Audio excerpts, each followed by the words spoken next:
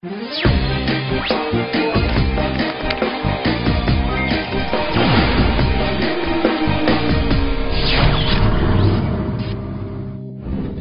家好，在我身旁是林肯首款国产车型冒险家。那么，在这个更加苛刻的豪华品牌市场，它将怎样开启它的冒险之旅呢？今天我们就来仔细的瞧一瞧。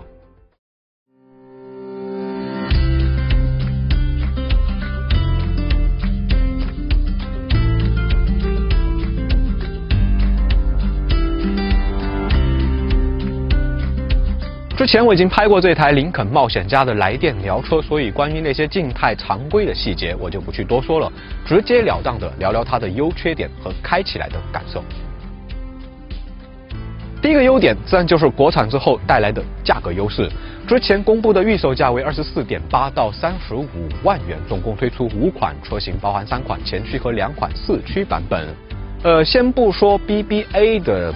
竞品，比如说奔驰的 G L A、宝马的 X 一，还有呢奥迪的 Q 三，即便是凯迪拉克的 X T 四、沃尔沃的 X C 四零，他们的起步价呢都会在二十六万元左右。所以冒险家的价格，我认为可以让它获得一个最便宜豪华紧凑级 S U V 的称号了。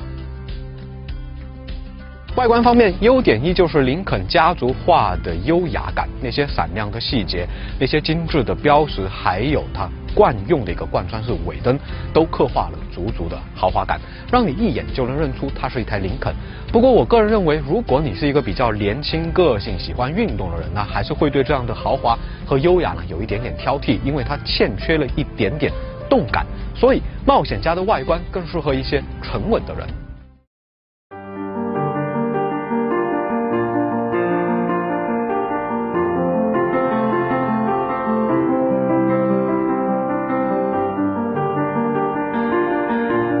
进车类，我觉得内饰的设计呢就不会像外观那样比较挑人的，因为根据不同的皮革颜色和不同的木纹。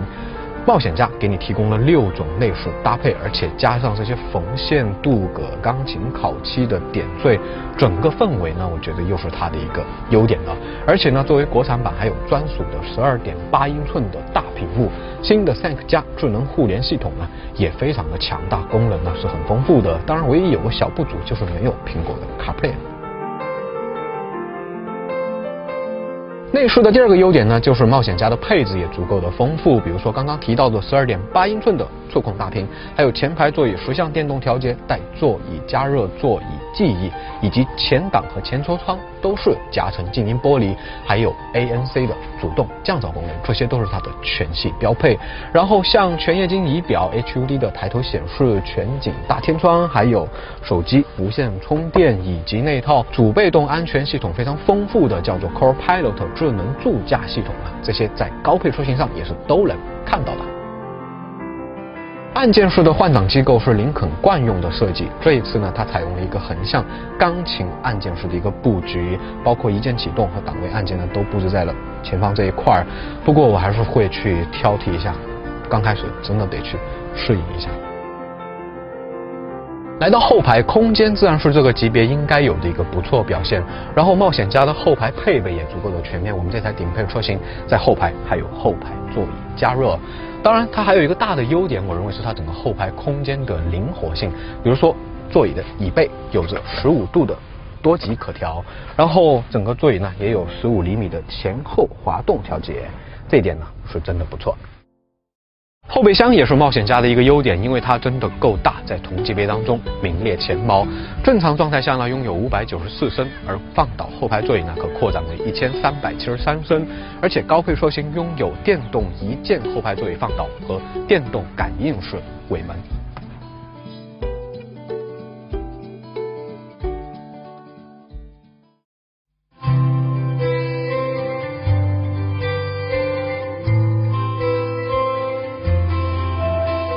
终于来到了驾驶的部分，开起来冒险家。第一个优点，我认为就是它的静谧性。之前也说了，像前挡、前排车窗都是夹层降噪玻璃，然后还有 ANC 主动降噪功能。而且我们这台顶配车型，它的后排车窗呢也是夹层降噪的，所以整台车呢真的是足够的安静。这种静谧性表现呢，符合它豪华品牌的定位。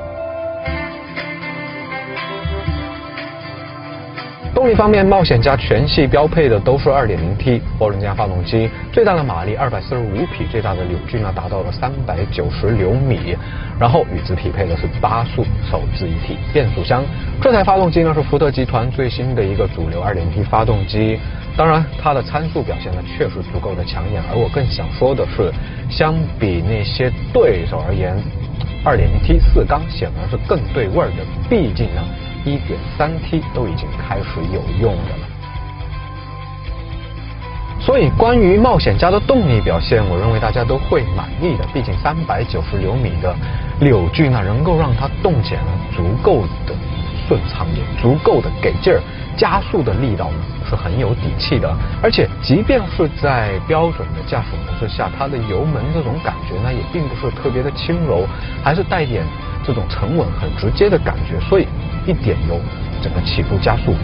都非常的迅速，都会伴以轻微的抬头，然后活跃的就奔出去了。而接着呢，就是八 AT 的表现也是可圈可点的，因为它呃整个换挡的感觉呢还是足够干脆、足够利落。不过有一个细微的小瑕疵，我不知道是不是我们这台试驾车的问题，呃，就是在低速和低档位的时候，它的动力衔接。会稍稍有那么一点点的顿挫，甚至会感觉呢，这是因为它动力太强，感觉就是突然来了一下，所以这是一个小小的问题。冒险家还提供了五种驾驶模式，除了之前说的标准模式，还拥有着 Eco 经济模式和运动模式。在运动模式下，整个转向呢也会更加的重手一点，让你更有驾驶乐趣。然后动力的响应会更加的直接，会把之前说的那些底气呢毫无保留的展示给你。然后防滑模式和复杂路况模式呢，则是结合它的四驱系统来满足大家走一走烂路了。然后转向部分，我觉得还是有必要多说两句的，因为它的转向并不会像现在很多车型一样，一味的去追求轻柔，不管是转向力还是转向回正力矩，都是比较有分量的。而我个人是会更喜欢这样比较有手感的一个转向。接着就是它的底盘悬架了，整体非常的厚重，很整体，也是它的一个优点。而且我们这台顶配版的车型呢，还匹配了 CCD 的自适应悬架，所以它的表现呢会更加的均衡。在面对这些细微起伏或者是大的颠簸呢，它的分寸拿捏的都更加的到位。所以综上所述，整体来看呢，这台。林肯冒险家，我觉得它既有很舒服、很惬意的氛围，因为它也足够的安静，然后又有不错的驾驶乐趣，因为动力很强，转向呢也不是那种呃索然无味的转向，这种表现呢就足够的均衡了。